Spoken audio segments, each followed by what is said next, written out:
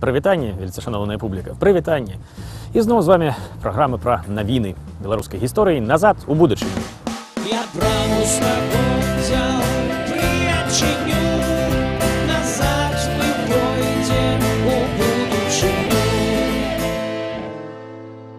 Калісьці даўным-даўно на пачатку 90-х быў я такім высакагорным украінскім горадзе, які называецца каламыя. І ў гэтай колумыі гралі мы з тагачасным маім гуртом мроя канцэрт, адзначалі яны нейкія угодкі этого гораду, адчынялі помнік сцяпану бандеры, а пасля грану путч і мы застралі там у гэтай колумы яшчэ на некалькі дзён пакуль ельцін не ўскараскаўся на броневічок пакуль не ну не распаўся савецкі саюз карацей пакуль мы там сидзелі і все доўга і упарта аглядалі наваколле гістарычныя цікавосткі на- наведвалі розныя правда і піцейныя установы. Да чаго гэта я? Для таго што вось ведаеце для мяне было вельмі цікавым што вярталі вернікам уніяцкую царкву цёткі бабулькі дзяды гэта ўспрымалі вельмі вельмі так станоўча нават па-святочнаму. Што за уніяцкая царква падумаю я тады. Вось так у нас укладалі гісторыю у савецкіх наших навучальных установах што я нават з этой вуніяй не вельмі быў знаёмы што гэта такое ну а калі э, недзе і праходзіў у школе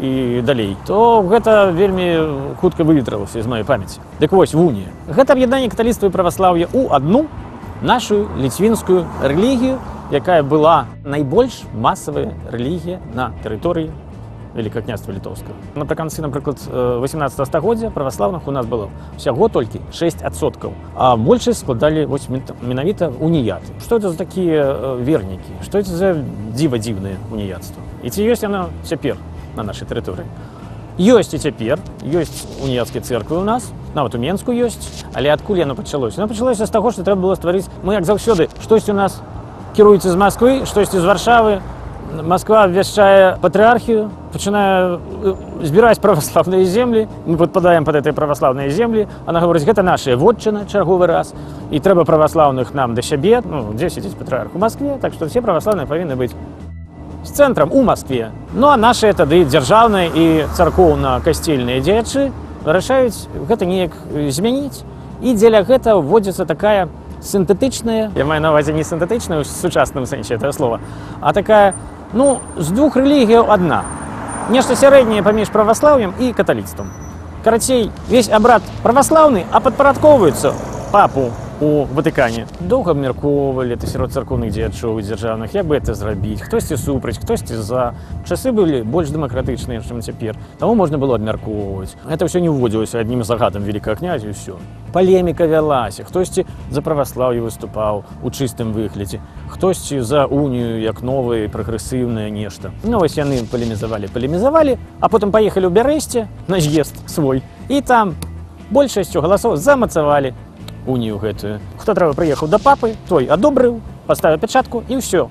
Введзеная вунія. Канешне, наш гарачы беларускі народ ён доўга сапраціўляўся этой вуніі. Он не хацеў, не здаваўся.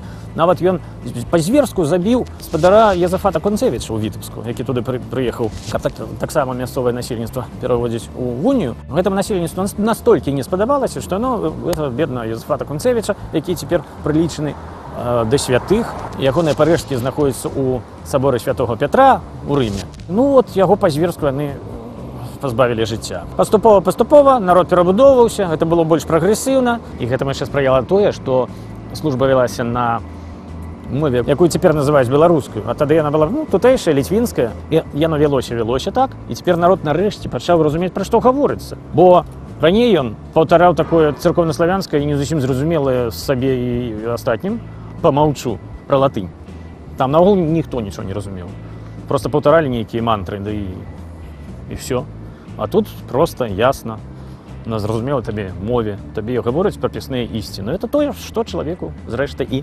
патрэбна ну вось таму большасць аж да захопу нашай тэрыторыі расійскай імперыі вызнавалі вось гэту новую новую рэлігію якая называлася вуніяцтвам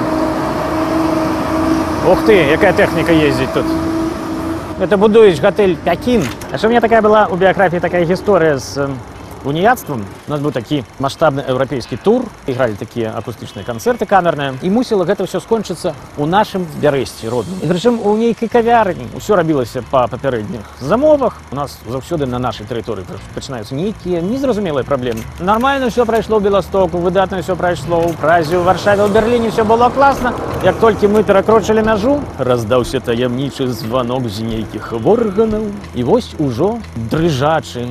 Дырэктар кавярні тэлефануе э, прадусеру Змітру Назарову гаворыць не не не не не канцэрту не будзе. Вы апазіцыя я ўсё понял все да свидания але прадпрымальны прадусер Зміцер Назараў робіць ход канём. За лічаныя гадзіны ён пераносіць канцэрт.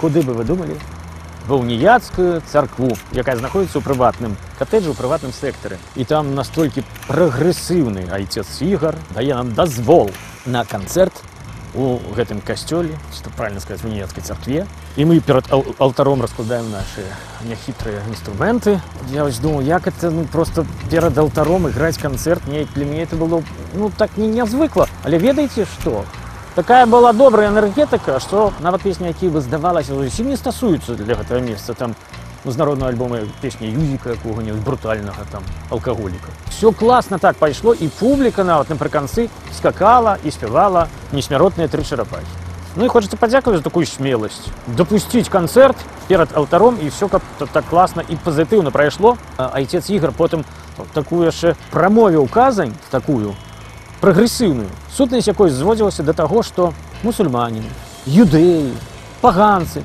все это нормальныя нашыя браты там, тому что яны хоць у нешта вераць І это вельмі д- добра і вельмі класна калі чалавек у нешта свята верыць ну ось такая гісторыя пра унію я вам распавяду потым як гэтую унію бедную няшчасную урэшце рэшт ліквідавалі з дапамогай расійскіх спецслужбаў розных ну і на сёння на шчасце ці на жаль у мяне для вас усё шаноўныя мае тэлегледачы моя неацэнная публіка з вами быў лявон вольскі і наша праграма назад у будучыню два пакуль Каміж царквой і касцёлам не згоду ліквідаваць і бліжэй да народу быць гаварыць адной з ім мовай унію трэба стварыць тэрмінова Я браму стагоддзяў прыячыню